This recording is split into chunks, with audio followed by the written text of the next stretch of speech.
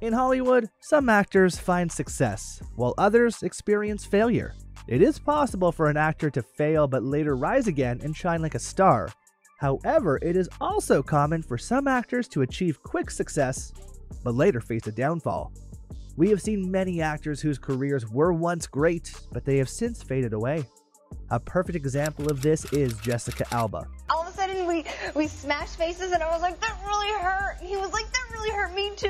Whose fall off is so unique that it deserves to be discussed. Don't you think so too? There is a beautiful woman with great acting skills, like a goddess, but now she is missing from the spotlight, and there is something off about her. Let's understand what exactly happened to Jessica Alba and how she went from being a rising star to a rarer presence in the industry. Let's start with her rise first. Jessica's career started at a very young age of 13. She began her acting career in 1994 with the movie Camp Nowhere. At the age of 19, she was the lead actress in the television series Dark Angel, which aired from 2000 to 2002. This series was the door of her success because Dark Angel was the series that truly put her on the map. She was cast as Max Guevara and performed so well that she received a Golden Globe nomination for her performance in this role. The show was a critical and commercial success. Alba earned several prestigious awards, including a Saturn Award. After Dark Angel, Alba's fame grew quickly, and she was suddenly everywhere. In fact, she became one of the top actresses in Hollywood. She did several unique and fan loved roles back to back in blockbuster films, including Fantastic Four and Sin City. Alba's role in Fantastic Four as Sue Storm was a standout moment in her career, as it positioned her as a key figure in a major superhero franchise and boosted her visibility in Hollywood. And so I guess, you know, that's what you do when you're a grown adult. You have a pajama pizza party and you play games. These films showcased her acting range, talent, and skills, shaping her status as a shining star. In fact, she was not just a star, but an icon. She was everywhere, from magazine covers to constant media buzz. It felt like Jessica Alba could do no wrong and was destined to be the future of Hollywood. But then things started to go wrong. Now let's discuss the chapter of her fall off. Even with her early success, Jessica Alba's career began to fall apart in the mid 2000s. Despite the success of many of her commercial films, critics were not always kind and the same. After the failure of movies like The Love Guru, Into the Blue, and Good Luck Chuck, Alba faced a lot of backlash from critics. And one of the biggest things that happened to her career was the failure of Fantastic Four Rise of the Silver Surfer. The film was expected to be a blockbuster, but things went bad. It underperformed at the box office and received mixed reviews from critics. However, for unexpected reasons, Alba's performance was singled out for criticism. Reviewers said she lacked the depth and complexity needed to lead a major franchise. After this phase, Alba found herself in a tough spot. Even though she was still popular, the quality of the movies she worked on started to go down. The actress later admitted in interviews that she often chose roles based on financial considerations rather than artistic merit. Later, Alba admitted in interviews that she often picked roles based on money rather than the quality of the film. And you know nothing. There's nothing happening inside. They're just like, you idiot. She appeared in a series of low budget films that failed to generate much interest or critical acclaim. Her career seemed to be stuck in neutral with no clear path forward. She appeared in a number of low budget films that did not catch much attention or praise. Her career seemed to be going nowhere, with no clear direction ahead. In 2011, she appeared in five films, including The Killer Inside Me and Machete. Even though these films had the potential to do well, they did not match the success of her earlier hits. After this chapter of her life, Alba publicly began to express frustration with the film industry. In a controversial interview, she said, Good actors never use the script unless it is amazing writing. All the good actors I've worked with, they all say whatever they want to say. This statement upset screenwriters and other actors, which might have hurt her reputation in the industry. Now let's discuss the factors that ruined her career. Alba damaged her reputation as an actress by appearing in flop and low budget films. Her film choices in the late 2000s and early 2010s are one of the biggest reasons why people did not want to work with her. One other reason she did not grow as an actress is that you can see in her career that she's getting roles and people want to see her because of her beauty, not her acting skills. People preferred her looks over her acting, which limited her range as an actress. Alba has also spoken many times on sexism, which has damaged her image in the industry. For instance, she once exposed the industry by saying that I always wanted to be treated the way that I saw men being treated. It is natural in any industry that when you speak out against how things work, you start to get backlash.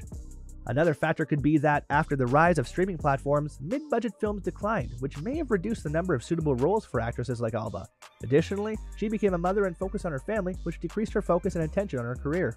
So at the parent teacher conference, she's the class clown. That's what they told us. She's kind of like her mom. Yeah. After the downfall of her career, Alba was smart enough to consider for a backup. In 2011, she co founded a company called The Honest Company. It was a consumer goods company which offered eco friendly and non toxic products.